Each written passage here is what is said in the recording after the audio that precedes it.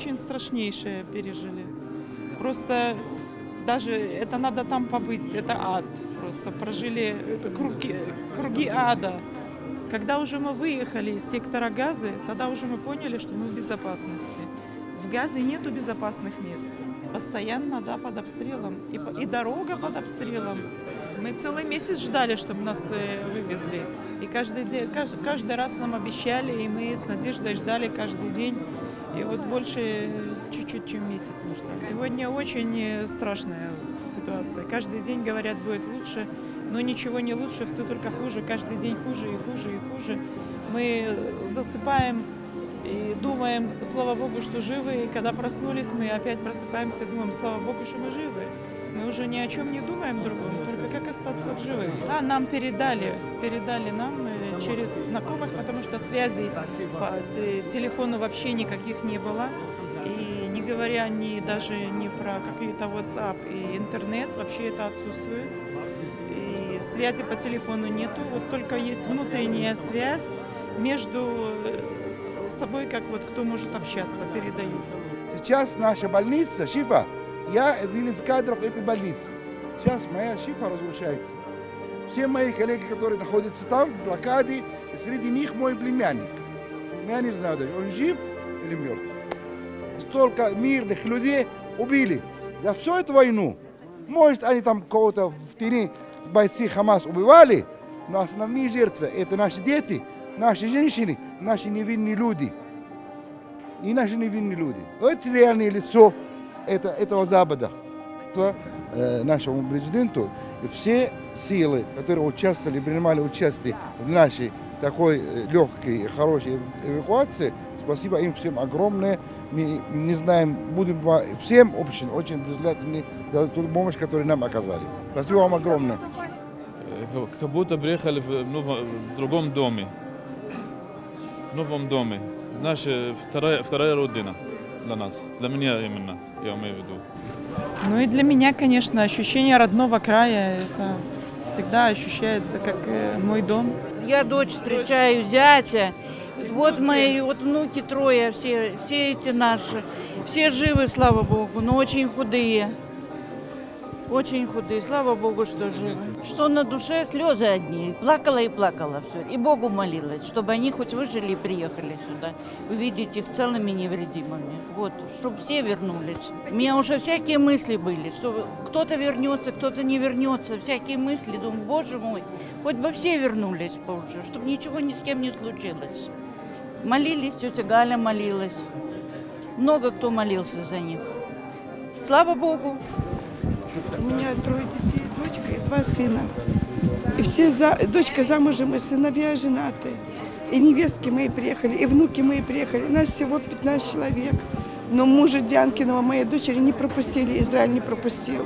Он остался там. Но мы пытаемся, стараемся все сделать возможное и невозможное, чтобы его выпустили. И он приехал сюда к нам, в Белоруссию. Мы встречаем действительно наших земляков, которые э, сегодня наконец-то такое вынужденное путешествие э, их закончится. Путешествие трагическое. Э, Нашего президента очень обостренное чувство справедливости. И действительно несправедливо, когда из-за политических амбиций всевозможных страдают абсолютно мирные, ни в чем не повинные люди. И решение было принято президентом, решение это выполнено. Сегодня 40, больше 40 наших земляков приедет на свою историческую родину. И, конечно же, тот мир, то спокойствие, которое в нашей стране, очень хотелось бы, чтобы вылечило их травмированные души, восстановило физические силы.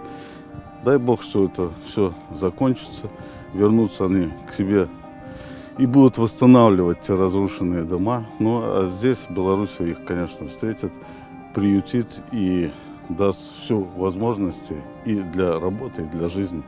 Уверен, что все получится у них.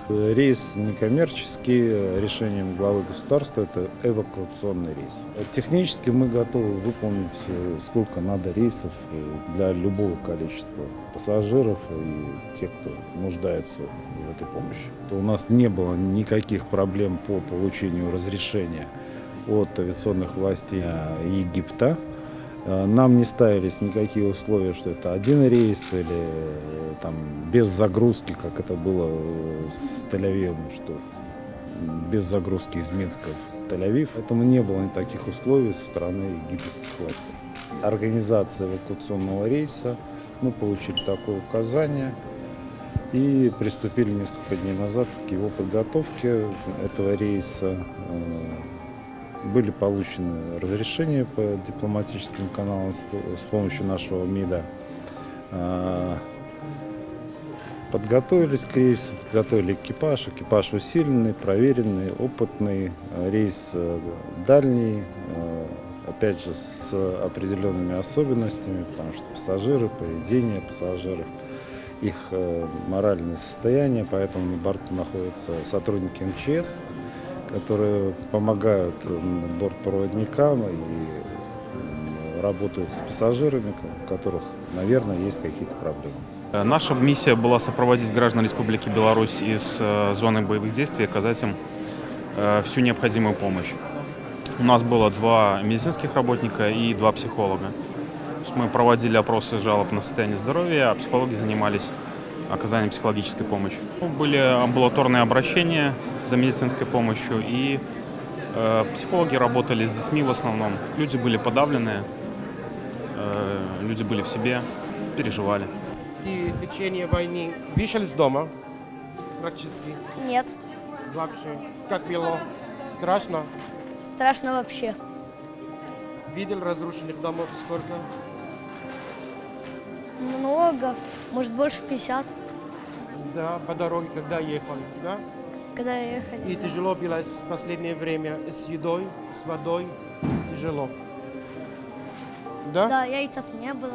Ничего Две практически недели. не было. Что дети уставшие совсем. 48 часов. С границы с вчерашнего дня, с 6 часов утра въехали. Только что приехали. Я лично жду свою семью, свою мать, отца и двоих братьев. Я очень ждал этого момента, я очень сильно переживал это все. Это все очень сложно, то, что сейчас там происходит, такого еще никогда не происходило.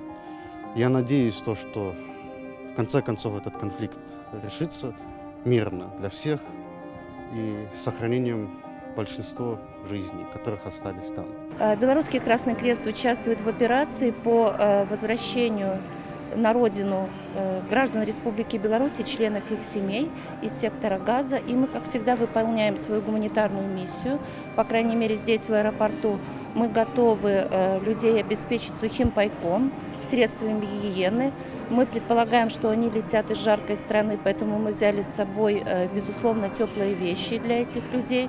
Кроме того, готовы оказать психосоциальную поддержку, первую помощь, сопроводить их до места основного проживания потом.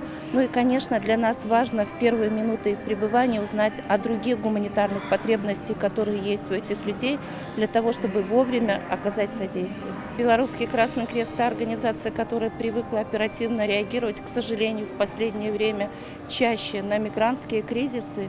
И э, мы готовы реагировать были уже, по крайней мере, к 10 утра. Мы были готовы, и в этом нет ничего удивительного, это наша работа. Э, Конечно, то, что происходит в Палестине, это настоящий геноцид происходит. Э, Очень много разрушения, около 50 тысяч домов были разрушены. И число погибших э, граждан, мирных граждан уже превышает 11 тысяч человек. Э, Больше две трети из них э, женщин э, и детей. Военное преступление происходит на глазах всего мира, и особенно, скажем, демократический мир, который иногда осуждает то, что происходит в других местах, а у нас в Палестине забывают, и права человека тоже забывают. Вот это вой- двойной стандарт, который принимает Запад, коллективный Запад во главе Соединенных Штатов. Сразу видно, как происходит в Палестине эта война, и никто из них не осуждал эту войну. Наоборот, они поощряли, дали возможность Израиль, дали им право на защиту. А защиту от кого? защита от людей, которые находятся под оккупацией. Что, как видите, израильская армия, оккупационная армия разделили сектор Газа на две части, северная часть и южная часть. И гоняют всех людей от севера на юг. Они попросили двигаться все от севера на юг. И по дороге люди, которые убежали, Э, в соответствии от приказания оккупационной армии бомбили их по дороге. И можно посмотреть в новостях, что тела этих людей и детей, они просто разбросаны на улицах. Надо давить на Израиль, на Соединенных Штатов Америки, чтобы остановили эту кровавую бойню против палестинского народа. Только так, а потом уже будем говорить о остальных э, вопросах. Ну, конечно, э, позиции президента Беларуси мы ценим очень сильно. Э, он рассказал то, что есть на самом деле, что палестинский народ уже страдает в течение более 75 лет.